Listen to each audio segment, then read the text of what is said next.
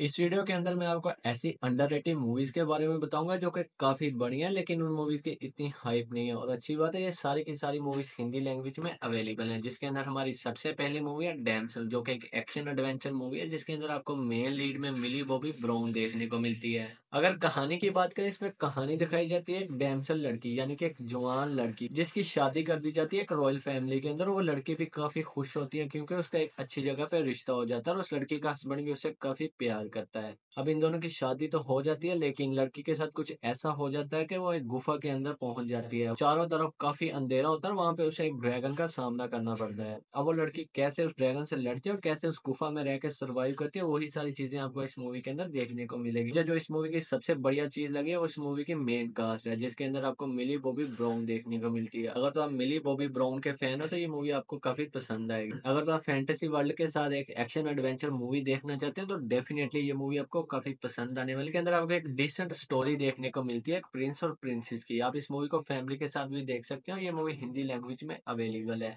हमारी next movie है Ricky stone की, जो कि एक एक्शन कॉमेडी मूवी है, जिसके अंदर आपको कहानी देखने को मिलती है तीन बच्चों की, जो कि एक प्रैंक प्लान करते हैं और प्रैंक करने जा लेकिन वहाँ पे गड़बड़ हो जाती है और एक बहुत बड़ा हादसा हो जाता है। अब वो उस प्रैंक से बचने के लिए सारे का सारा इल्ज़ाम एक रिकी स्टान के नाम के बंदे के ऊपर लगा देते हैं, जो कि पूरे शहर में उस नाम का कोई बंदा नहीं होता। अब इनके हाथ में एक ऐसा बंदा लग गया कि अब ये जो भी कांड करते हैं, सारे का सारा इल्ज़ाम उसके ऊपर लगा देते हैं। ये बीस साल तक तो ऐसे ही करते आ रहे थे कि सारे का सारा इल्ज़ाम उस बंदे पर देते हैं, जो कि इस शहर में एग्जिस्ट ही नहीं करता। अब ये लोग बड़े हो गए तो रिकी स्टार की नाम, इनकी लाइफ के ऊपर कैसे इम्पेक्ट करता है, वही सारी चीज़ें आपको इस मूवी के अंदर देखने को मिले। और इस मूवी की अच्छी बात है, इसमें आपको जॉन सीना देखने को मिलती है और उनसे आपको अलग ही लेवल की कॉमेडी देखने को मिलती है। इस मूवी का कॉन्सेप्ट भी नया है, शायद ही आज से पहले किसी ने इस आइडिया पे कोई मूवी बनाई हो आप इस मूवी को हिंदी लैंग्वेज में प्राइम वीडियो पर देख सकते हैं। हमारी नेक्स्ट मूवी है स्पेस मैन जो की एक साइंस फिक्शन एडवेंचर मूवी है। जब मैंने इस मूवी का ट्रेलर देखा था तो मुझे तभी ये मूवी थोड़ी डिफरेंट लगी थी, जिसके अंदर आपको कहानी देखने को मिलती है एक एस्ट्रोनाइट की, जिसको एक सोलो मिशन पर भेजा जाता है, क्योंकि एक बहुत बड़ी चीज़ बहुत तेज़ी से पृथ्वी की तरफ़ बढ़ रही है।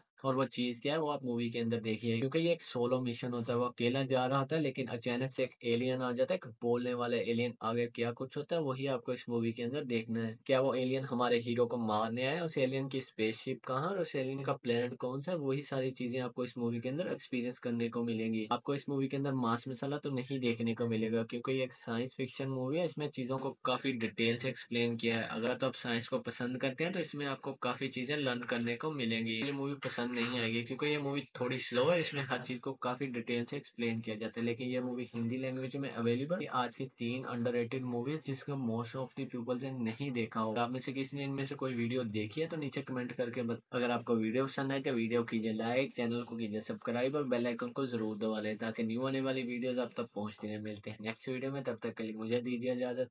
खुदा